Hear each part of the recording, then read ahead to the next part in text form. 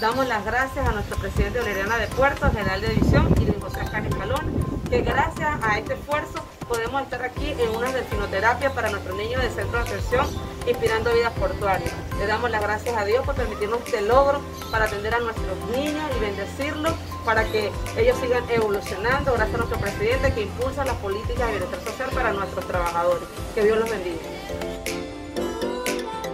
ha parecido excelente en el progreso de los niños de nosotros. Este, han evolucionado bastante.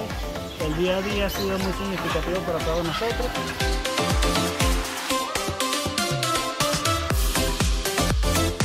La primera vez que veo delfines, porque nunca había yo nadado con delfines o hacer terapia con delfines me he sentido muy, muy feliz con los delfines, muy emocionado y ha sido una experiencia buenísima.